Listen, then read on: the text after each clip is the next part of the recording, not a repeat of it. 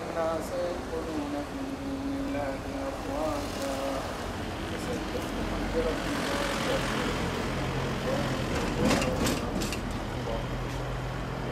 اللهم صل على محمد وآل محمد وعجل فرج مولانا صاحب العصر والزمان. واجعلنا من أنصاره وأعوانه ومقوية دولته وسلطانه.